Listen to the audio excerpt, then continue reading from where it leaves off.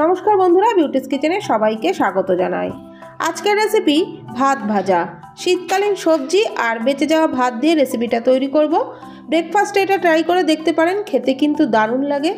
আর অনেকেই তৈরি করে থাকেন, আমি কীভাবে তৈরি করব সেই রেসিপিটাই আপনাদের সাথে শেয়ার করব।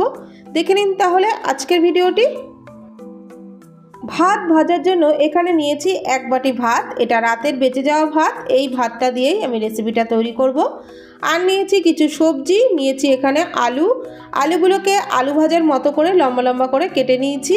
নিয়েছি পেঁয়াজ কলি পেঁয়াজ কলিগুলোকে ছোট ছোট টুকরো করে কেটে নিয়েছি। আর নিয়েছি কয়েক টুকরো ফুলকপি। ফুলকপিগুলোকেও ছোট ছোট টুকরো করে কেটে নিয়েছি। নিয়েছি গাজর। গাজরগুলোকেও আলুর মতো করে কেটে নিয়েছি। আর নিয়েছি পেঁয়াজ কুচি, কাঁচা লঙ্কা কুচি। আর এখানে আদা, রসুন কুচি আর ধনে পাতা কুচি। এবারে গ্যাস অন করে কড়াইয়ের মধ্যে দিয়ে দিলাম পাঁচ থেকে ছ চামচ রিফাইন অয়েল। তেল গরম হয়ে গেলে হাফ চামচ কালো জিরে, একটা শুকনো লঙ্কা ছিঁড়ে দিলাম। কালো জিরে, শুকনো লঙ্কাটা ভাজা ভাজা হয়ে গেলে আদা, রসুন কুচিটা দিয়েই সাথে সাথে পেঁয়াজ কুচিটা দিয়ে দিলাম। পেঁয়াজ কুচিটা দিয়ে একটু নাড়াচাড়া করেই কিন্তু আমি সব সবজিগুলো দিয়ে দেবো। প্রথমে দিয়ে দিচ্ছি আলু কুচি, দিয়ে দিচ্ছি গাজর। ফুলকপিগুলোও দিয়ে দিলাম। এই সবজিগুলো ভাজতে যেহেতু একটু সময় বেশি লাগে, তাই আলু, ফুলকপি, গাজরগুলোই আগে দিয়ে দিলাম। দিয়ে দিলাম কাঁচা লঙ্কা কুচি। এবারে সমস্ত সবজি ভেজে নেব, আর তার আগে দিয়ে দিলাম হাফ চামচ লবণ আর হাফ চামচ হলুদ গুঁড়ো। হলুদ আর লবণ দিয়ে সবজিগুলো খুব ভালো করে ভেজে নেব। এইসব সবজিগুলো একটু ভাজা ভাজা হয়ে আসলে দিয়ে দিচ্ছি হাফ কাপ ভাপিয়ে নেওয়া মটরশুঁটি। এই মটরশুঁটিগুলোকে আমি আগে একটু ভাপিয়ে নিয়েছিলাম। এবারে মটরশুঁটিগুলো সমস্ত সবজির সাথে একটু নাড়াচাড়া করে নেওয়ার পর দিয়ে দিচ্ছি পেঁয়াজ কলি। পেঁয়াজ কলিটা কিন্তু একটু পরেই দেবেন। আলু, ফুলকপি, গাজরটা একটু ভাজা ভাজা হয়ে আসলেই কিন্তু পেঁয়াজ কলিটা দিতে হবে। কেননা পেঁয়াজ কলি ভাজতে বেশি সময় লাগে না।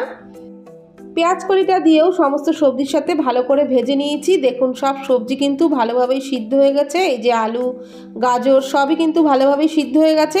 এবারে মাঝখানটা একটু ফাঁকা করে নিলাম। তারপরে দিয়ে দিচ্ছি দুটো ডিম ফাটিয়ে।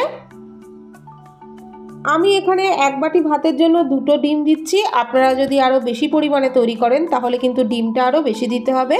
দিয়ে দিলাম খুব সামান্য পরিমাণে লবণ। লবণ ডিমের সাথে ভালো করে মিশিয়ে নিয়ে নাড়াচাড়া করে ভুজিয়া তৈরি করে নিচ্ছি। ভুজিয়াটা তৈরি করা হয়ে গেলে সমস্ত সবজির সাথে ভুজিয়াটা ভালো করে মিশিয়ে নিচ্ছি। মিশিয়ে আরেকটু ভাজা ভাজা করে নিলাম। ডিম সবজির সাথে ভালো করে মিশিয়ে নেওয়া হয়ে গেলে দিয়ে দিচ্ছি ভাত। আর ভাতটা দেওয়ার সময় কিন্তু গ্যাসের ফ্লেমটাকে একদম মিডিয়াম টু লোতে রাখতে হবে। ভাতটা দিয়ে সবজি আর ডিমের সাথে ভালো করে ভেজে নিচ্ছি। ডিম, সবজি, ভাতের সাথে ভালো করে মিশিয়ে নেওয়া হয়ে গেলে দিয়ে দিচ্ছি হাফ চামচ লবণ। লবণটা কিন্তু একটু বুঝেই দিতে হবে, যেহেতু সবজি ভাজবার সময়, ডিম ভাজবার সময় লবণ দিয়েছি, তাই লবণটা একটু কমই দিতে হবে। দিয়ে দিলাম হাফ চামচ চিনি। চিনিটা যদি আপনারা অপছন্দ করেন, তাহলে নাও দিতে পারেন, তবে দিলে কিন্তু খেতে স্বাদটা আরও বেশি লাগবে। চিনিটা দিয়ে নাড়াচাড়া করে ভালো করে ভাতটা ভেজে নিয়েছি। সবজি, ভাত সবই কিন্তু ভালোভাবে ভাজা হয়ে গেছে। এবারে নামানোর আগে এক মুঠো ধনে পাতা কুচি দিয়ে ভালো করে মিশিয়ে নিচ্ছি। মিশিয়ে নেওয়া হয়ে গেলে গ্যাসের ফ্লেম বন্ধ করে দেবো। আর গরম গরম পরিবেশনের জন্য আমাদের ভাত ভাজা কিন্তু এখন একেবারে রেডি তো তৈরি হয়ে গেল ভাত ভাজা। রেসিপিটা কেমন লাগল অবশ্যই জানাবেন। ভালো লাগলে এইভাবে একবার বাড়িতে ট্রাই করে দেখতে পারেন। আশা করব আপনাদেরও খুবই ভালো লাগবে। আমার চ্যানেলে নতুন বন্ধু হয়ে থাকলে চ্যানেলটা সাবস্ক্রাইব করে নেওয়ার অনুরোধ রইল। পাশে থাকা বেল আইকন অবশ্যই পেশ করবেন, তাহলে আমার সমস্ত ভিডিওর নোটিফিকেশান আপনাদের কাছে পৌঁছে যাবে। ভালো থাকবেন, সুস্থ থাকবেন, ধন্যবাদ।